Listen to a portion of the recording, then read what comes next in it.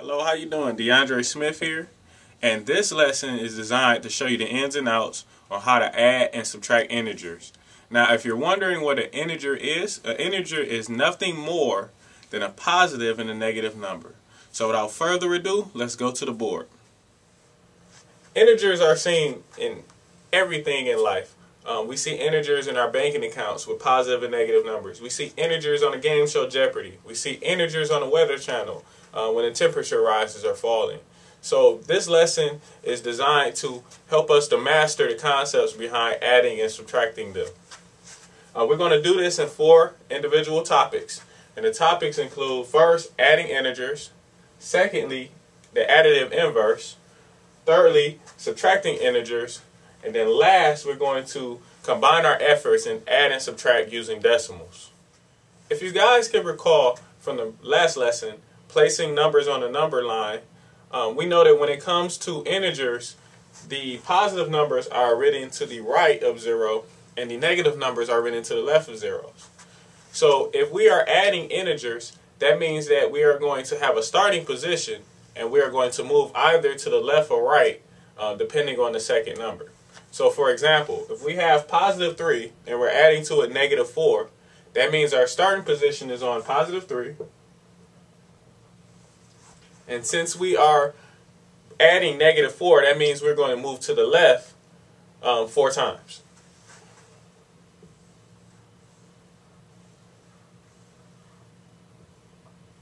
Since our final destination is negative 1, that means our answer is negative 1. Let's try another one. Now, in this example, we're asked to take negative 5 and add positive 7 to it. So that means our starting position is going to be on negative 5. If we move 7 places in the right direction,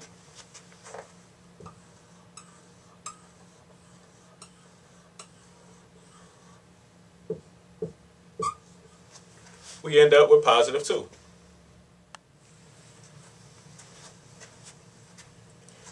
Now, as the numbers become larger and larger, um, drawing the numbers on a number line will become unrealistic. Um, it become tedious. So, we can solve or, or add any. Now, as the integers become larger, it may be a bit tiresome to draw number lines, especially if you're you know, have 50 or 100 or 200. So integers can be added um, and simplified by these two rules. First, if the signs of the numbers are the same, you just add them. That means that if you have a positive and you add it to another positive, you're going to get positives. If you add a negative and you add it to another negative, you're going to get negatives. The second rule is if the signs of the numbers are different, you're going to subtract and the number that's the greatest, whatever sign that has, then that's going to be the sign of your answer. Now let's let's do some examples um, applying these rules. Okay, let's look at these two examples. we have positive 22 and we're adding it to positive 33, then our answer is going to be positive 55. Why? Because both of our signs are the same. So since we have two positive numbers, our answer is going to be positive. In the next example, I have negative 22, and I'm adding to it negative 33. So therefore, our answer is going to be negative 55, because they are the same signs. I have two negatives. The next example, I have negative 22, and I'm adding to it positive 33. So my answer is going to be 11. Let me tell you why. Because I have different signs, I'm going to first subtract.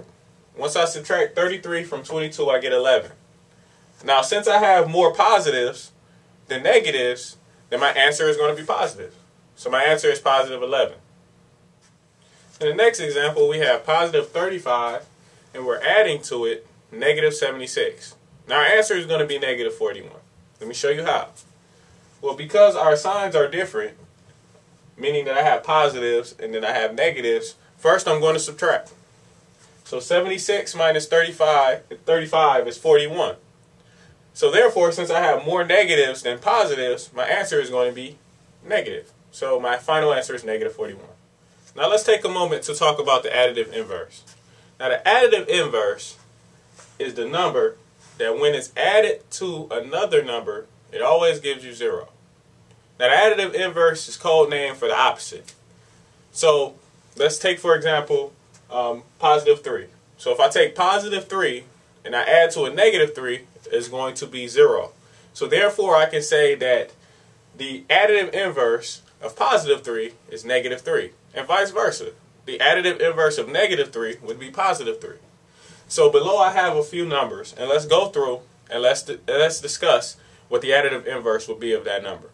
So if I have negative 1, remember, negative 1 plus positive 1 equals 0. So therefore, the additive inverse of negative 1 would be positive 1. With positive 6, the additive inverse would be negative 6. With negative 32, positive 32. With positive 100, negative 100.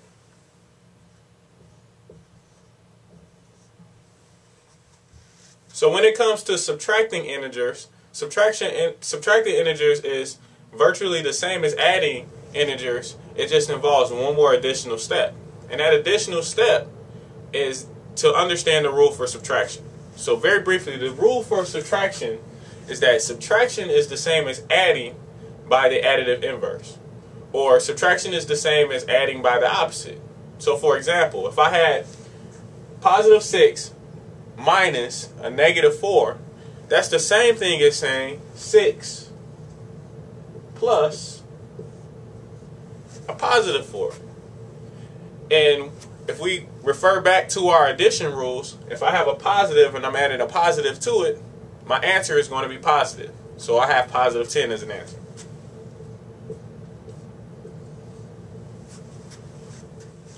Now suppose I have negative 6 minus 10 minus positive 10. So in subtraction, it's the same as adding by the opposite. So this problem can be changed to negative 6 plus a negative 10. So negative 6 plus negative 10 is equal to negative 16.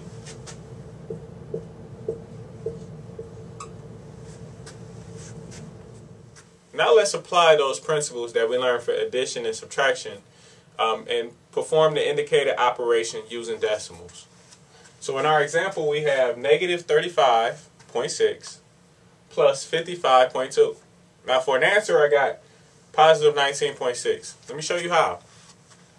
If you can recall from the addition rules, if we have a negative number and a positive number, our signs are different. So first we subtract. So if we subtract the two, we get 19.6. Now our answer is dependent upon which sign we had the most of. So since we have the most positives, um, our answer is going to be positive. So therefore our answer is 19.6.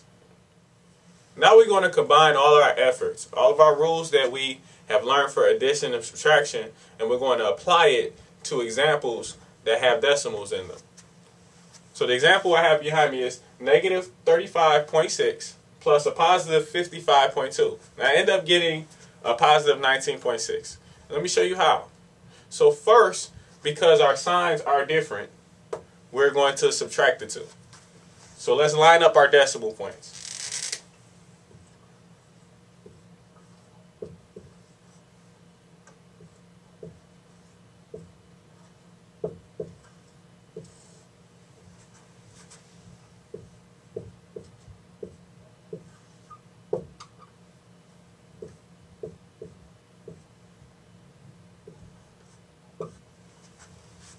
Okay, once I subtracted the two, I ended up with 19.6.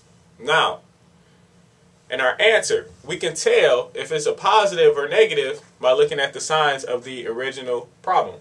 So, negative 35.6 is less than 55.2. So therefore, since we have more positives than negative, our final answer is going to be positive 19.6. Next example, I have a positive 35.6 and I'm subtracting from it a negative 55.2. Now my final answer I end up getting a positive 90.8. Let me show you how. So first of all, since we're subtracting, remember subtraction is the same as adding by the opposite. So let's change this problem a little bit.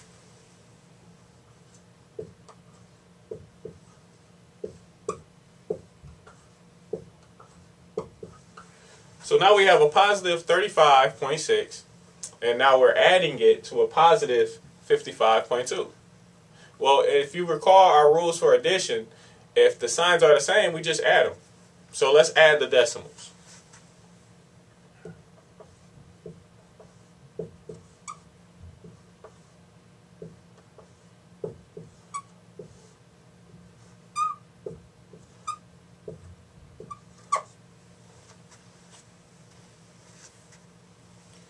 So now that we added our decimals, we end up getting 90.8, and that's our final answer. Hello again, guys. Um, I hope that this lesson was able to help you in some way. Um, as always, if you have any additional questions or if you need any additional resources, feel free to contact me. Thank you.